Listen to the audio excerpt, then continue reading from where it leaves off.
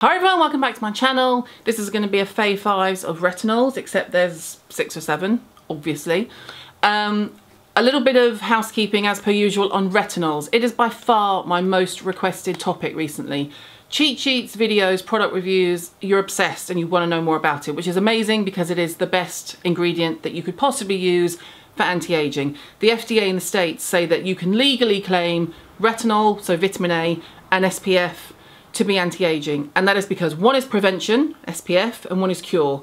Retinol reverses the signs of aging. Um, that is proven, it's a given. How effective it is for you depends on the strength, the type of retinol you're using, and the type of vitamin A is what we should say, and how often you use it, what else you're using it with, lots of variations. I have a few options here. Um, some you will absolutely recognise, one is new, and I will do an honourable sort of shout out to a couple of others that I don't have here that are available should you wish to, wish to start on a sort of milder scale. Um, some housekeeping. Yes, absolutely you need to get your SPF in order before you start using a retinol. Two reasons. One, it makes your skin more sun sensitive. And two, you don't want to do all this hard work and spend all your good hard earned money making your skin look good to then go out into the sun and age it again. So get your SPF in order follow the instructions on the tin as to how it says to use it. Most of them will say to use in the PM on a clean dry face. And that means you cleanse, you get everything off, you sort of pat your face dry. I, I, I will use mine damp dry, but then I sort of use a very, very, um, a damp hot flannel as opposed to a sopping wet one. So your skin needs to be sort of touch dry, not dripping with water, and then you put your retinol on. After that, you can carry on and do the rest of your routine as long as there are no contraindications as listed on your packaging of your product. I hope that makes sense. What I'm trying to say is, for the most part, unlike everything else I do in skincare, I follow the rules with retinols. So what is it? Retinol, retin is the key phrase that you're taking from that word. Retinol is simply vitamin A, which is retin, in an alcohol base, hence retinol and the marriage they've become kind of retinols has become the generic name meaning all vitamin A products but it's not really accurate. We should be using vitamin A. That's number one. In a way that in England we say where's the hoover? But it's a vacuum cleaner. Where's the q-tip? But it's a cotton bud. So if I slip into using retinols know that that does not mean I am saying that that product contains retinol. It could contain retinol palmitate. I will try and maintain clarity Let's start with a brand that's been doing them for a long time and does them in three varying strengths. So if you're unsure of where to start, you can start with 0.3. This is retinol and it's SkinCeuticals. It looks like this. They do 0.3, 0.5 and a 1. Start at 0.3 if you've never used it. Um, refining night treatment. This is literally just a cream. Hang on, I'll just give you a little, looks like that. Nothing scary at all. And it's uh, SkinCeuticals, which is a uh, cosmeceutical sort of spa salon clinic brand, not, not spa, there's no swimming pools involved. Um, so it's fragrance free, as most of them are. It's a really nice one to start with. It's really gentle. It shouldn't give you any problem.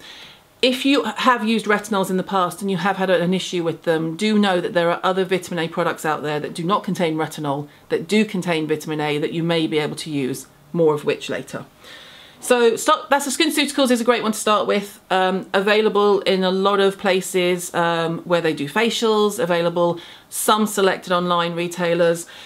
I've noticed a lot of grey market SkinCeuticals, so go make sure you buy it from an authorised stockist. I would Google SkinCeuticals in your country, follow the official website and then follow the chain as it were. And if where you are buying it is not listed, this is key actually. Let's just have a moment's digression if you are buying, say, this, and you Google it and you find it on a website, I'm not going to name some, but there are some very dodgy websites out there that you should never buy skincare from.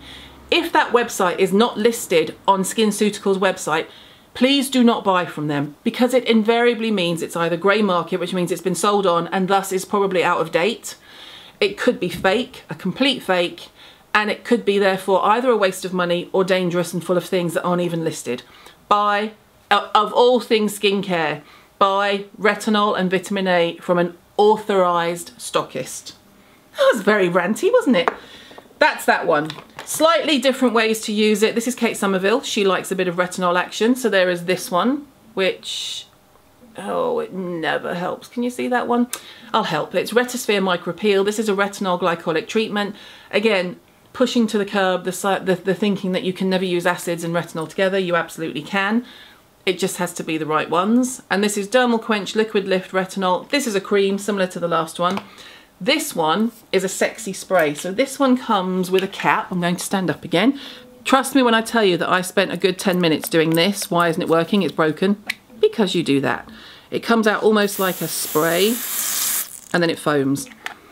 So much fun to use. Sorry. It foams and then you just, and that's it. Oh, it also smells delicious. I know that shouldn't be an issue, but it does. More, um, sparry, but not, not, not greeny florally. Anyway, that is not an issue when it comes to retinol. That should not be something you concern yourself with, Caroline, so I'll be quiet. Um, again, this is a nighttime one. Both, both lovely. I've used both. I like both. I use both. It's all good. Um, I'm going to mention these two together. one is by far, I think it's actually my most read review on the blog, if not one of them. Sunday Riley's Luna. Looks like that. This does work. This is a different retinol and I wrote it down because every time I try to remember it, it is hydroxypinacolone, pina, hydroxypinacolone retinoate. I know there's a sexier way of saying it and also a correct way of saying it, but it's basically, it is not a retinol, which is a bit annoying because they say retinol on the front and yet they make the whole deal about this not being a retinol and it being sort of a cousin in the chain of vitamin A so that it absorbs deeper. Ultimately, it works. It does what it says. It says next generation retinoid oil reduces pore size, improves appearance of damaged skin and helps fight wrinkles. It does. It does work. I had a couple of complaints um, on Twitter and my blog post about how it contains blue tansy, but it also contains synthetic dye. Um, I think Sunday Riley states food dye, but it contains blue dye to give it this colour. So although it contains blue tansy, I'm not sure how much blue tansy is in there because the percentage isn't available, but that's fine. No one has to tell you what's in it. Um, it's just that be aware that some of the colour is, oh, does smell lush. Um, some of the colour is not real. But it does work and it's very gentle. So if you're looking for a way to um, break yourself into it, that might work for you. Interestingly enough, using the same uh, vitamin A derivative is Pestle and Mortar. Now you will know this brand from my hyaluronic acid uh, review. They do hyaluronic acid, they make a moisturiser, and now they have Superstar Retinol Night Oil. It looks like this. I believe it is launching in September. This, again, I'm going to stand up just to show you. This is an oil like that. Sorry, bear with. And it's not fragranced, just smells like skincare. I know that sounds weird. Um, it's slightly richer, I would say, than Luna. My hands are literally covered now. Um, but again, a really good, nice, gentle way to start, not too heavy going, and that is a 30 mil size. The Sunday Riley is also a 30 mil size. So these two are actually very similar. I'll be interested to see if this has any impact on the sales of this one. Um, who knows? But they're both, both very good. They both do what it says on the tin. I have two left. They're very different. This one is one that is completely different from all the others. This is uh, Zelens Power A High Potency Vitamin A. It looks like this. Now, Dr. Marko Lens will be known to those of you um, who have been watching my YouTube channel since the beginning. He is a very dear friend of mine. He is um, probably the man I trust most with my skin. We argue about things all the time. He says I'm an idiot, that's fine. I say he's Italian. um, these are made, this is kind of next generation vitamin A. This can be used mixed in with your own creams. It can be used anytime, day or night. It can be used through all skin types. And by the way, all of the retinols I've mentioned, it's all they're all suitable for all skins. Um, the big one that isn't is the prescription, but I will talk about that in a second. This one is literally the same as the others. Do a couple of drops out of the dropper. Yeah rub, done.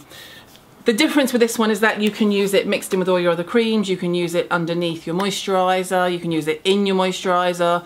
You can use it AM or PM. Um, Dr. Lens is not a fan of using vitamin A products without SPF or in the summer. So by his own admission, around now, he probably wouldn't be using it, but I use a really strong SPF. Um, it is super gentle. So it's a re this is well, this would be a, if if you're not really concerned about budgets, this would be actually because here's the thing pricing with retinols because it is a proven ingredient and it works and a lot of technology and thinking and research has to go into retinol products they are always going to be slightly more expensive than just a day-to-day -day serum. This one in particular if you have can you see are we focusing doesn't like me today um, if you have concerns about starting with something too strong or you want to make sure you take it easy but you want something that's really effective this is a good place to start the results are not going to be immediate. It's a slow burn, but it works really lovely. It works really lovely? It works in a really lovely fashion. It's probably a sentence. Okay, so here's where I'm going to finish off because this is to give you, so I'm sitting to attention. Um, there is obviously a big, big difference between retinol you buy over the counter and a retin-A cream that you would get from a dermatologist or a doctor or your GP or whoever. I have been using this one on and off for a year, as you can see. This is cream. Um, I have a few things to say about it. One, it's in a mineral oil base, so every time I use it, I get spots here that then go on to leave pigmentation problems. I mean, you, you just couldn't believe it, could you? But it does work, and it works so well that I am sporadic with how I use it. The fact that I've had this for over a year, and yes, it's still in date, um, I use it almost as a booster and then I ease off, and then I use it as a booster and then I ease off. The major difference between what you can get on prescription and what you get over the counter is that this needs your body to convert it to retinoic acid. And that's the same for all of them. They all need your body to convert their product to retinoic acid. This is retinoic acid at 0.05%. Yes. So this is 0.05%. The difference is that this has already done the job for you. So as soon as you put this on, it starts to work. And the results are, I mean, within a week you'll be peeling if you use it, especially if you're new to it, if you use it the way it's instructed, which obviously you should, it's a prescription.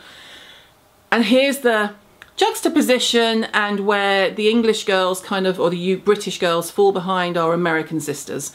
I know a lot of American people and a lot of them have a dermatologist and a dermatologist will happily write them a prescription for a retinoid, a retinoic cream. Um, it's, it's no big deal. A lot of you already have one. In the UK, we do not really do dermatologists unless we have a major skin problem if we have severe acne, severe psoriasis, um, things that need to be looked at, moles, things that need to be chopped off. They're not readily available on the NHS unless you have a problem. And if you want to pay one, pay to see one privately, you're looking probably between 250 to 450 pounds, depending on where you go and where you live. Here's the annoying thing. All of these, so I think this, I want to say this is 85. I think this is near 100 around there. Um, the Kate Somerville is all around the 60-ish and these are definitely around the 40 to 60-ish depending on the strength, I think, but I will put correct pricing under, underneath. That's those. This, which is stronger than all of those put together and quadrupled, was £25 on prescription. Therein lies the big issue because if everyone in the UK had a really good cleanser, a really good acid, a really nice vitamin C serum, a moisturiser, and a tube of a, a retinoid cream that came from prescription that was retinoic acid, the skincare industry would suffer. That is absolutely a given. That is just, it's, it's just the way of the world. 25 quid, but it's going to cost you a couple of hundred quid to get it because you have to go and see the doctor. Or anything from 40 to 150 depending on the brand for something you can buy over the counter that isn't as strong. Yes, they work. Yes, it's a nice place to start if they're gentle. But if you have major serious concerns and you have, let's say you're not, I think, let's just put it into context. If you are want, if you can only afford over the counter, that is fine because they do work and they definitely serve a purpose and you will get your money's worth. If you are the other side of probably 40, they're going to say younger in the States, but they do, that's fine 35, 30 if you're a smoker. If you are on the younger, on the older side, sorry, and you have visible signs of aging, which could be anything from pigmentation. I've got a little lotus flower shape here, which is from um, pregnancies. Uh, pigmentation, defined wrinkles, definitely. Just the general signs of aging, you know, all of that sort of stuff. It is much better in that case to go to a dermatologist, pay the fee and get this on prescription. So what do you do? It depends on your budget, depends on your finances, depends on how serious your skin concerns are. If you have real, true skin concerns and someone is telling you that an over-the-counter cream, and this this involves anything, whether it's a serum or moisturizer, you know, will fix pigmentation and make it go away forever. It won't, that is not true. Um, will will make all your lines and wrinkles disappear overnight. Well, it might do that, absolutely, but it would be temporary. The only thing that fixes a deep, deep set wrinkle is Botox. There are lots of, and I'm not trying to sort of be on a downer, it's just that it's important that you know when you are going into a beauty hall or a dedicated shop or looking online that you, you buy smart. Just buy smart. Make sure you're buying niacinamide, vitamin C, vitamin A. Don't be caught up in things that promise the world with one key ingredient unless that key ingredient is SPF or vitamin A. Right, I know that's been very ranty and all over the place and I knew it would be, but I just feel like it was time to start the conversation about retinol and then we can get back into the more detailed swing of things. Maybe the comments underneath you can say well I'd like more info on this I'd like more info on that. I, like I say I'll try and answer as many questions as possible but it, please bear in mind it is impossible for me to answer hundreds and hundreds of dedicated big long lists of routines things like can you use them with acids yes you can but it depends on which one it is you know if you if you use this for a week and then try and use P50 1970 formula your face will fall off literally someone close to us may have tried it once if you use P50 with any of these, you're completely fine. Sorry, completely fine. P50 doesn't work that well with these. It's just to give you an, an idea that there is no definite fix, there is no definite routine. You have to find what works for you. But I will say, if you can afford it and you have signs of aging, you are not happy with your skin, go to a dermatologist, try and find one word of mouth, Go to a dermatologist and ask for a retinoid, a prescription strength one. You will save yourself money in the long run. If you have general signs of aging and you're in your 20s, 15, 20, 30, 35, your skin's great, you're not really that worried about it, all of the ones I've talked about are great products.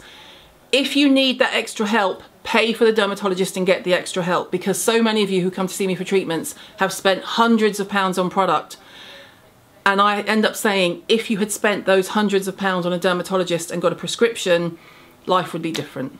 That's all.